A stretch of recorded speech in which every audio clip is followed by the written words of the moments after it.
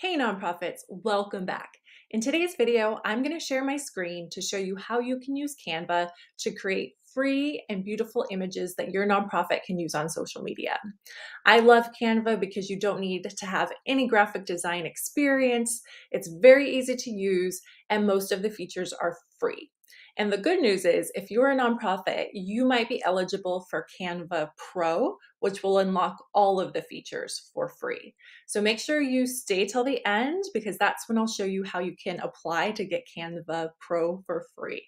So right now you are looking at my screen. This is the default homepage you'll um, see when you log into your Canva account after you create one.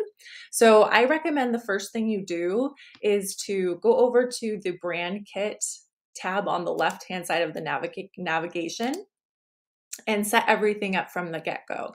So when you have the um, free version of the account, the only thing you'll be able to do is upload your brand colors.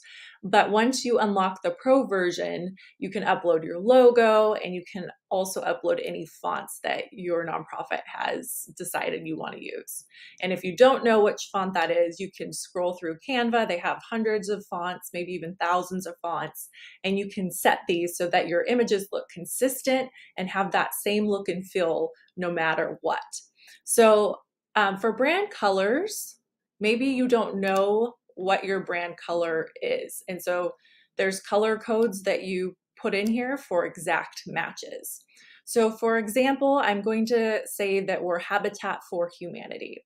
So a quick trick if you want to ever learn how to grab these color codes is you can go to Google and you can search HTML color from image.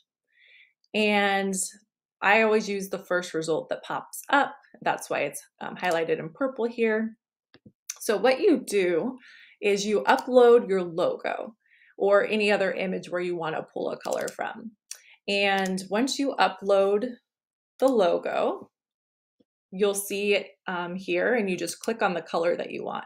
So the color code here is 56B849. We're going to copy that over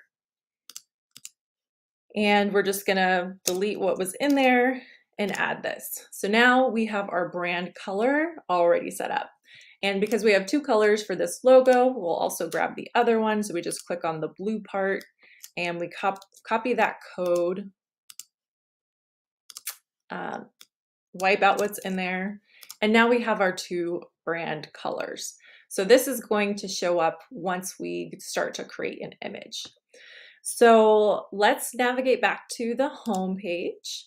And what you can what you'll see here is there's create a design and so there's some automatic recommendations, social media, presentation, Facebook cover photo. If you're looking for something specific, you can type it in. So maybe you're looking for a Facebook ad size and you can see there is um, a suggested 1200 by 628 pixels. And so you could click on that. For today's purposes, we're gonna just do a generic social media image. So let's go ahead and click on social media. Now it's going to um, encourage you to add some text and then pick a template. And I just want to point out a couple things to you. So um, you'll see on the left-hand side, there's some templates. You could scroll through those and see if any made sense for um, your nonprofit. Maybe you see a specific um, template that you like, and you can use that by using um, multiple images in it.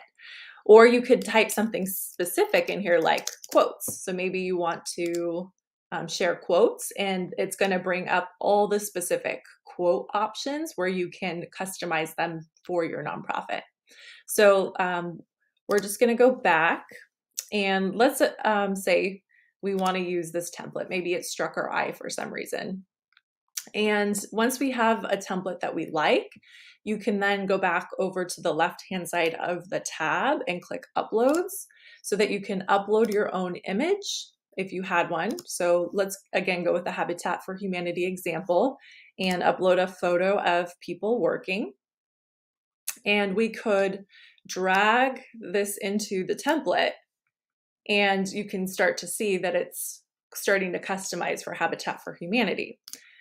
So what we want to do is click on this color block on the top and we want to make it more branded. So to do that, we click on the color up on the left or left upper hand corner and you'll see that our brand colors are already in here. So this makes it much easier to just grab it from here. So let's try to see what it looks like in green. We can try to see what this looks like in blue. And because the people in the image are wearing blue shirts, blue does work better. So we can do something like, um, let's say, volunteer today. We could say, you know, help build homes. And then we could say something like, um, maybe there's an event coming up this weekend. So we could say something like, um, next volunteer opportunity is June, we'll say Saturday, June 30th. That might be Sunday, it doesn't matter. so now you have this image that looks nice. You didn't have to have any graphic design experience, but you were able to put text on it to help it stand out. And it, from here, all you have to do is click the um, download button and it's going to download this image and then you can upload it to social media. So this is really amazing because you're just able to customize things. And if you don't have photos, maybe, um, let's say that you are just starting out or you haven't had the resources to get uh, photographs in the past, you can search something like building a home and you'll get images that you're able to use. Now, when you hover over these, some of them have dollar signs, they're premium images, but some are free. And the great thing is that when you get Canva Pro, a lot of the premium images are unlocked for free. So this is definitely a reason why you want to apply as a nonprofit to get Canva uh, Canva Pro. So let's just, for example, pull an image, drag and drop another image in. Another uh, tip is that if the image isn't lining up where you want it to, you can double click it and move it around. So this one, we're, we're kind of limited. It's probably not the best photo, but you could then, um, you know, type in different things to see if different images come up. And maybe that's a better image. So you're able to just really plug and play. And we did this what in a matter of just a couple minutes.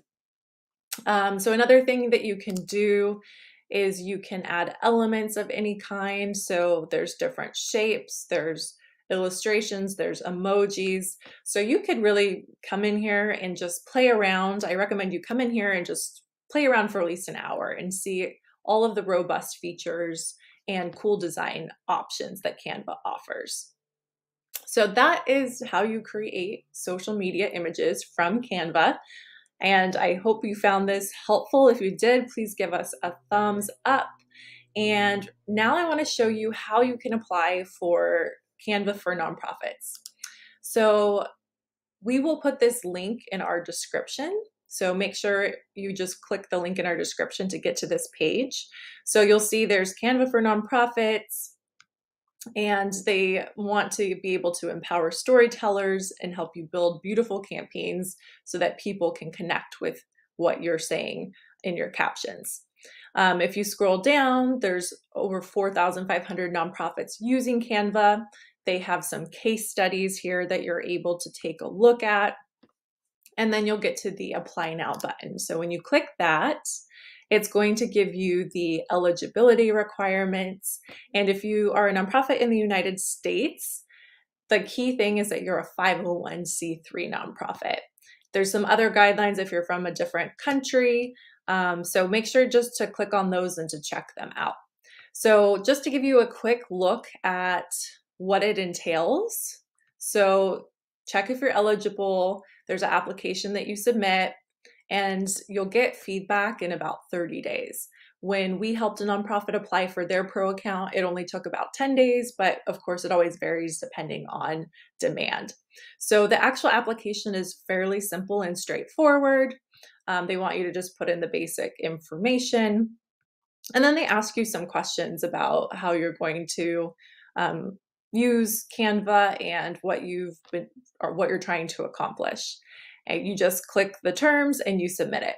And then once you're approved or accepted as a nonprofit, you can then go back to the homepage and then you can optimize your brand kit even more. So you can then add in your logo you can add in your your fonts and you can also add uh, i think up to 10 team members and so this gives your entire organization access so that you can you know grant access to volunteers or if you have a team of people you're able to do that. And so um, those are the just the key things that you need to know about canva so make sure that you subscribe to our channel if you found this video helpful and you're interested in seeing more tutorials. And if you can leave a comment below with whether or not you're going to start using Canva or apply for Canva, we would love it. So thanks for tuning in and have a great day.